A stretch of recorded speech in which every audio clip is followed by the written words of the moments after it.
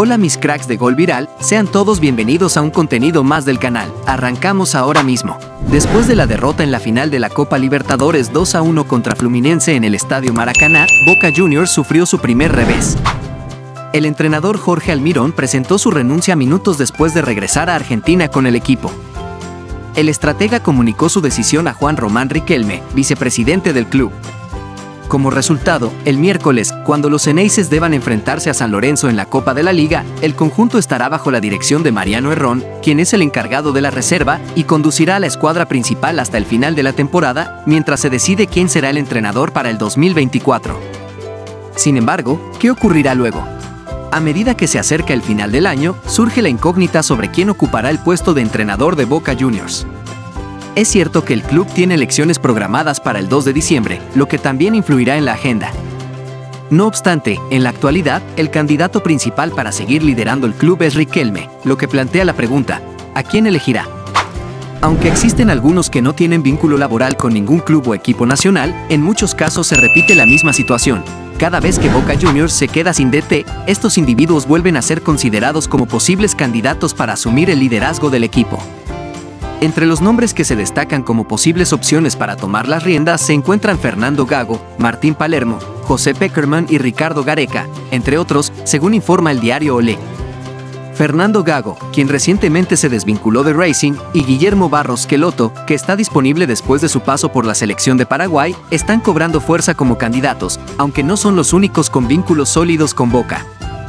Rodolfo Arruabarrena, quien logró dos títulos durante su periodo como entrenador entre 2014 y 2016, también se encuentra disponible tras su experiencia en la selección de Emiratos Árabes Unidos.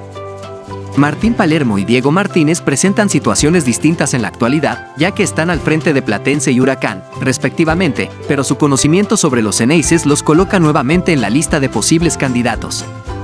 Otros históricos como Ricardo Gareca, quien no ha tenido trabajo desde que dejó Vélez, al igual que José Peckerman, que pasó por la selección de Venezuela, siguen siendo opciones, pero su disponibilidad dependerá de su propia decisión.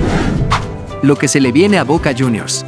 Luego de perder 2 a 1 ante Fluminense en la final de la Copa Libertadores 2023, Boca Juniors deberá pensar en su próximo compromiso.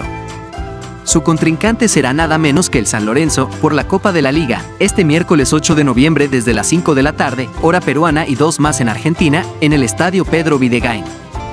Ojo, el compromiso será parte de la doceava fecha del certamen mencionado, donde el cuadro Ceneices se encuentra en el puesto 11 del Grupo B con 11 unidades, tras ganar 3 partidos, empatar 2 y perder 6.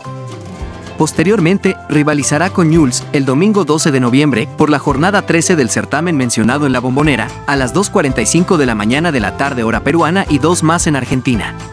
Dentro de pocos días se reanudarán las eliminatorias sudamericanas camino a la Copa del Mundo 2026, que se llevará a cabo en México, Estados Unidos y Canadá. Allí es donde ha apuntado la selección peruana bajo las órdenes del entrenador Juan Reynoso, aunque la performance en las últimas fechas ha dejado mucho que desear. En definitiva, la bicolor solo ha podido conseguir una unidad de 12 posibles producto de un empate 1 a 1 en la fecha inicial contra Paraguay en condición de visitante. En adelante solo se han encadenado derrotas, 0 a 1 VS Brasil, 2 a 0 VS Chile y 0 a 2 VS Argentina.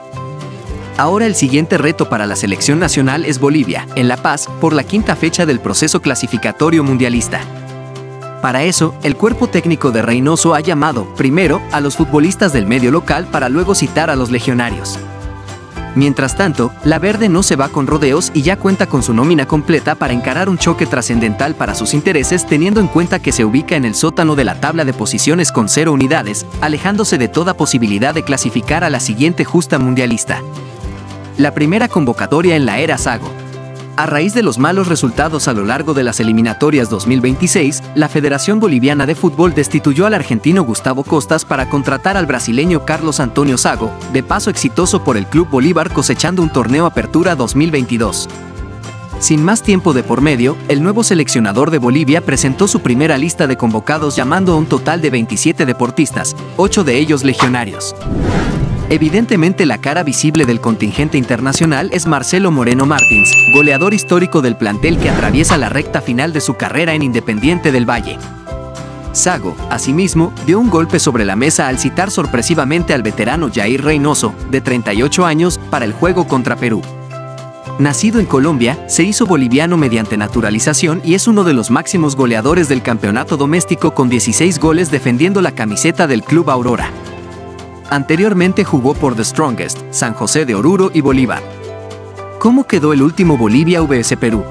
Para las eliminatorias Qatar 2022, la Blanquir-Roja, por aquel entonces dirigida por Ricardo Gareca, sufrió un duro revés a su visita al estadio Hernando Siles de La Paz. Cayó 1 a 0 a manos de los altiplánicos con un gol, cerca del final, concretado por el volante Ramiro Vaca. Gracias por ver el contenido del día de hoy. ¿Qué opinas de la noticia del día? Comenta en la parte de abajo tu apreciación y no dudes que nos veremos en un próximo video más pronto de lo que esperas, aquí en Gol Viral.